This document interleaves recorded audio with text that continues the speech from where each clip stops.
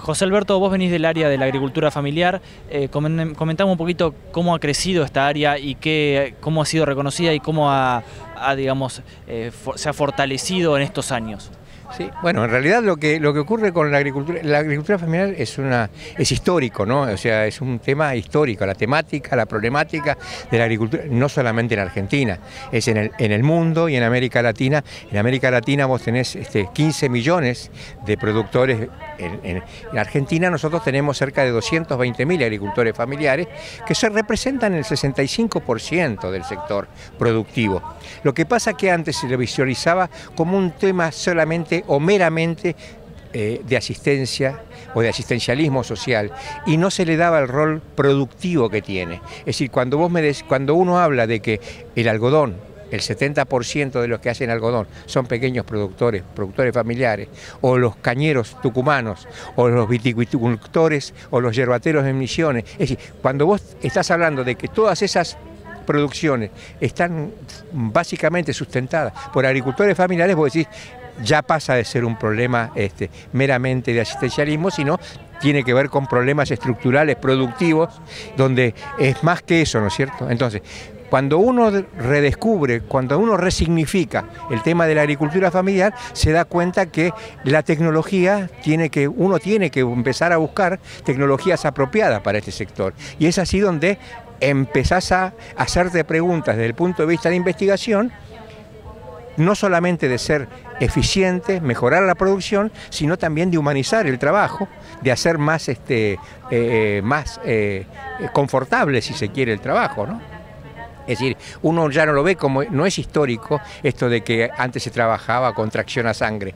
Hoy en, nuestro país eh, existen todavía y muchos productores así. Entonces uno tiene que ir generando tecnologías apropiadas ¿eh? para humanizar el trabajo, para hacerlo más eficiente, más confortable. Y bueno, y es por eso que hay niveles de, tecnologías que se van adecuando a los sistemas productivos. Por eso hemos creado la cosechadora de algodón Javillú, la, cosechadora en cañan verde La Cañera, y así una cantidad de maquinarias que son accesibles a los sistemas productivos más familiares. Entonces, no solamente eso, sino también que hacen al, confort, ¿no? desde las energías renovables, todo lo que tiene que ver con la, la generación de tecnología o la generación de conocimiento que tiene que ver con la mejor utilización de los recursos naturales.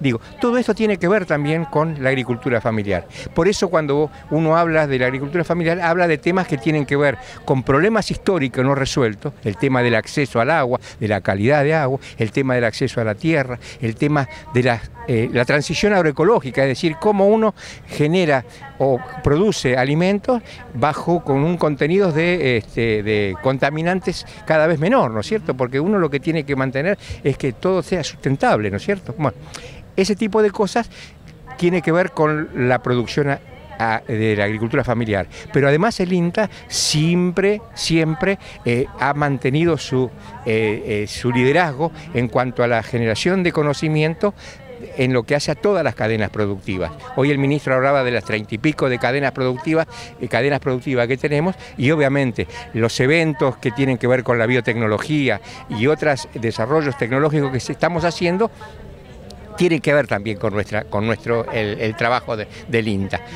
Y por eso es que cuando yo te comento de esto de, forma tan amplia, es porque justamente el crecimiento que ha tenido nuestra institución, no solamente desde el punto de vista de atender a todos los sectores, sino también de ir trabajando en aquello que tiene que ver con la frontera, el conocimiento. Nosotros tenemos hoy oficinas del INTA oficina del INTA en Francia, en Montpellier, donde tenemos cuatro investigadores con un coordinador que están trabajando en forma eh, conjunta con los investigadores franceses en temas que tienen que ver con biotecnología, con desarrollo de los territorios, con distintas temáticas que son importantes para nosotros, pero lo trabajamos de par a par. Y a nivel mundial reconocen el INTA como una institución muy prestigiosa, ¿verdad? Y si te estoy, te estoy comentando de que en, Francia hay un, hay un organismo que se llama eh, Agrópolis. Ahí está, hay una oficina del INTA y una oficina de Brasil.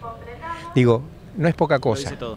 Y estamos pensando abrir en otros lugares. Digo, esto tiene que ver con esto de que eh, nosotros no nos quedamos, estamos tratando de avanzar cada vez más y en forma más articulada con todos los agricultores y con todos los productores de nuestro país, de América Latina. Estamos asistiendo muy fuerte a todos los compañeros y a todos los colegas y a todos los misiones que estamos teniendo, no solamente con América Latina, la CELAC, sino el, eh, África mismo. El tema de la transferencia de tecnología, transferencia de conocimiento y que viene aparejado después con el tema de eh, la venta de máquinas, la venta de insumos. Es decir, hay una relación donde eh, la generación de conocimiento tiene que ver con esto de que no solamente avanzás con el conocimiento, sino que después avanzás con esto de la complementariedad con otros países de la región. ¿no?